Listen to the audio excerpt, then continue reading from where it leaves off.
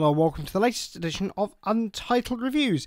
Now, uh, in a recent article uh, on the blog, you'll have heard me um, that discussed uh, 10 years of Chrome OS. You'll have heard me discuss that uh, Chrome OS is a fantastic operating uh, system for those budget uh, machines like the Spin 513 and the 314 from Acer that we featured on the channel relatively recently. But for those slightly higher end machines or mid range machines from 500 quid upwards, Chrome OS has found itself a little bit lost. And that's certainly the case uh, with this next Chromebook offering, the uh, Acer Chromebook 714, which fundamentally finds itself at a difficult price point, given the fact that it's more expensive than the majority of Chromebooks out there, uh, and also at a price point that approaches the cost of uh, some decent and slightly more portable Windows 10 laptops. It's got the specs to justify that cost, though, with its uh, 8th gen uh, Intel i5 processor and 8 gigs of RAM, offering plenty of performance um, for mobile computing. Uh, but fundamentally, with uh, um, Windows counterparts like Microsoft Surface Laptop Go, offering uh, slightly more up to date um, innards as well as uh, the functionalities and freedoms that come with Windows, uh, the 714 may not be the best. Chromebook for the job. However, with a full uh, full HD 14 inch display and good battery life, there's still uh, plenty of reasons to buy this if you're happy to to move from Windows to Chrome OS. There are plenty uh, of different versions of this particular laptop available. Um, offering either i3 or i5 processors and all sorts of storage options.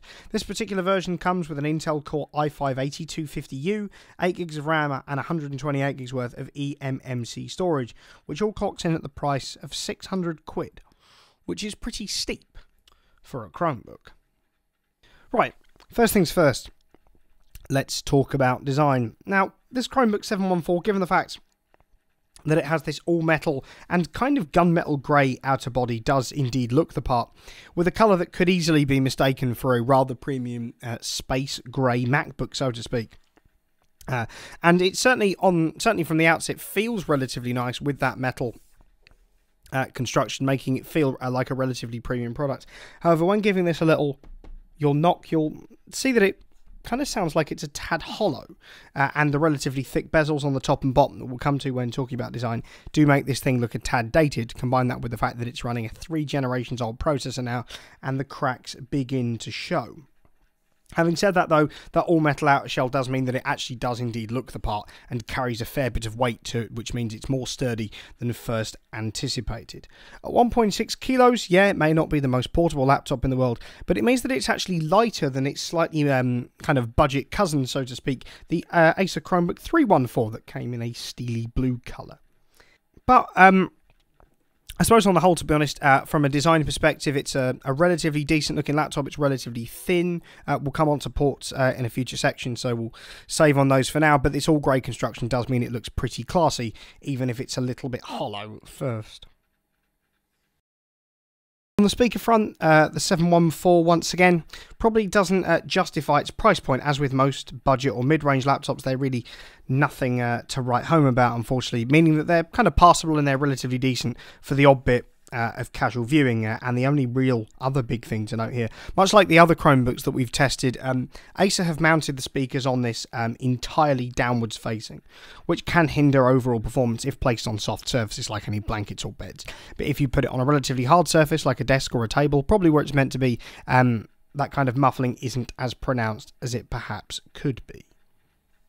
I am happy to say though that despite this uh, this laptop's misgivings by way of its uh, slightly hollow design and um, relatively okay speakers that for 600 quid you are at least getting a decent keyboard trackpad and also a fingerprint sensor as well. It's one of the only higher end chromebooks that i know of to feature a fingerprint sensor and but it's nice to see acer including one here. It sits just below the right arrow key uh, in case you're interested. The keyboard that acer have put here feels relatively solid uh, and keys are decently tactile and firm and unlike some more budget oriented chromebooks the um, the keyboard here is actually backlit uh, which is nice to see, meaning that this is a good option for working after dark. The fact that it comes uh, with the fingerprint sensor as well just adds another layer of security and indeed uh, peace of mind. Now, the um, comparisons to MacBooks continue. You'll see I said that it had a, a space grade construction uh, in the last part as well. Um, but I'm happy to say that the trackpad here that um, Acer have decided to bundle is positively massive uh, by comparison to again some of the more budget-oriented Chromebooks out there, uh, and the fact that it, it's made of Gorilla Glass as well means that tracking is smooth and accurate, and there's plenty of space for your fingers, which is absolutely ideal on a laptop such as this.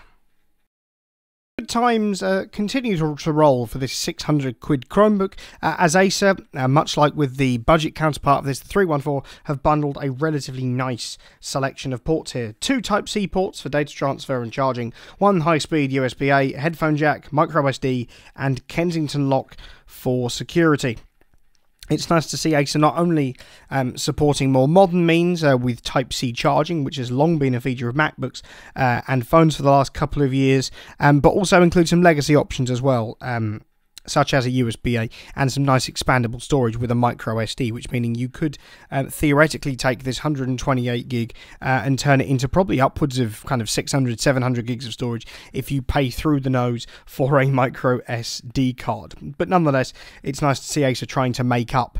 Um, kind of trying to make up the price point that little bit more with uh, the 714's port selection.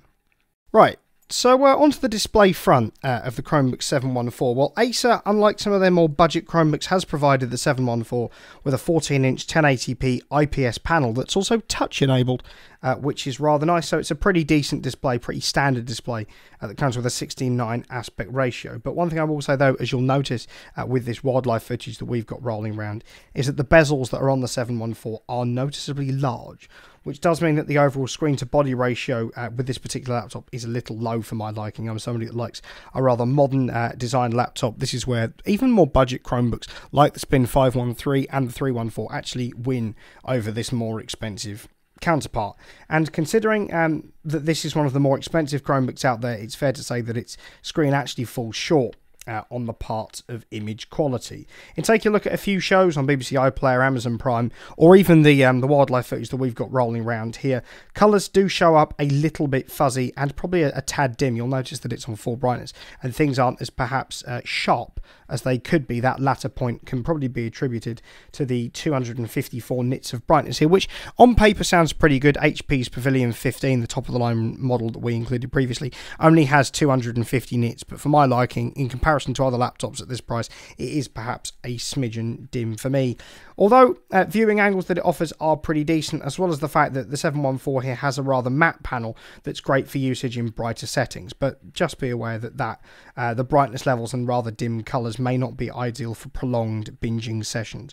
You're probably better off finding a laptop uh, with a much better display for this specific price if you're going to be binging anything uh, on Netflix or Amazon Prime uh, with all their brand new releases that seem to come out pretty much every week these days. Now, for your uh, for the 600 quid that you're going to be paying uh, for the 714, you probably do expect some half decent performance, even if this thing is just a standard Chromebook. Now, with this uh, particular unpacking an 8th gen uh, Intel Core i5 8250U uh, and 8 gigs of RAM, uh, it's got plenty of performance and that can easily handle any basic apps and the day to day workload.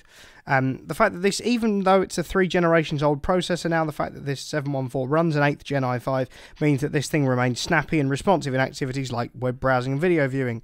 Um, and its 8 gig of RAM gives you more than enough headroom for any um, any tasks you plan uh, to be doing. I'm happy to say that though that there's no real slowdown even if you have loads of Chrome windows open. Uh, the fact that it also comes with 128 gigs of storage um, is I suppose a little bit on the low side if you want to store a lot of photos and videos, but for 600 quid, you're probably only going to be getting anything uh, from 128 up to probably 512 gigs worth of storage, and if you can find a really good laptop for this specific price. Any issues with how the 714 performs, therefore, can be put down not actually to its hardware, but uh, indeed its software. The fact it runs Chrome OS uh, and costs 600 quid is actually a major limitation uh, for those who want to do anything more than the basics. Although, if you want something that's that kind of just works, I suppose, when you'll hear a lot of people say that Mac OS or iPhones just work. Um, the same can be applied to Chrome OS uh, as well. Its major competitors, uh, the Honor MagicBook 14 and Microsoft Surface Laptop Go, both run Windows 10, which I'm honest, um, is probably you're probably getting a little bit more laptop for your 600 quid if you do go with uh, like the MagicBook 14, for instance, uh, that does run Windows 10, um, offering you that little bit more software-based functionality that does inherently limit um, this particular Chromebook. If you are looking to spend 600 quid on a laptop, go and buy something that's Windows-based. I'm not saying there's anything wrong uh, with the way the 714 performs, particularly it's still got a decent 8th uh, gen processor and 8 gigs of RAM uh, are decent enough for Chrome OS, but anything more than that, to be honest, if you're going to want something that's more up to date. Um, that will also probably go the distance in terms of overall shelf life and use case. As much as I might uh, have a problem uh, with the 714's overall performance components, uh, blend of software and hardware, I don't have any problems uh, with its battery life. 600 quid, you're expecting something pretty decent, and the 714 does actually deliver. It's on this specific front where things actually begin to pick up. This rather high-end Chromebook managed to last just under 13 and a half hours, making it actually ideal uh, for those who want to complete a full day of work away from the mains, but also uh, the fact that this could actually run uh, for multiple days if you manage to balance brightness with battery life and all sorts of other things.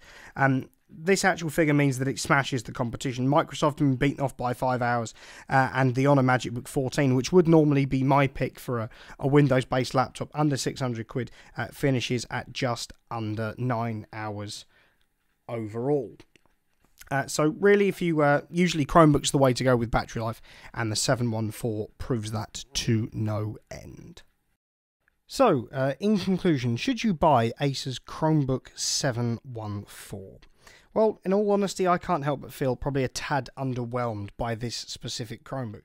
And whilst its performance is relatively decent and its battery life is fantastic, there are a fair few shortcomings um, to uh, to consider, but we'll get onto those uh, in a little bit of a moment. If you're somebody though who wants a relatively powerful Chromebook with a fantastic luxury life, uh, and you're somebody that's really set on saying, you know, I want Chrome OS and I want something that's going to do well and probably more than I need to, but sod it, I'll pay for it anyway, then the 714 is a fantastic option. It offers relatively similar performance to a couple of those Windows based counterparts uh, and has fantastic battery life to boot as well. But if you're looking for more um, more functionality, a sharper display, uh, better build quality, and the fact that you want something that runs uh, something that isn't Chrome OS, then there's plenty of other Windows laptops uh, for available under 600 quid that are going to do uh, just what you need them to do and so much more.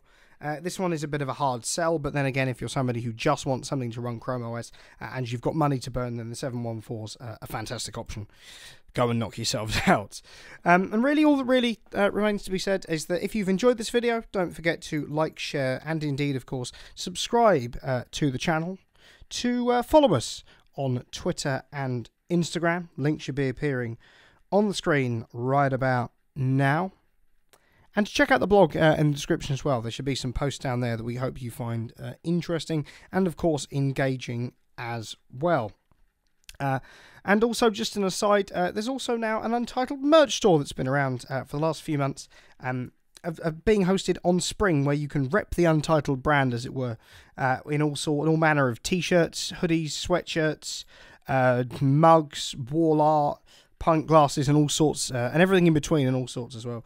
Uh, the fact that Teespring also ship worldwide uh, and all their stuff is really good quality as well is just a massive bonus. So go and check that out in the description as well.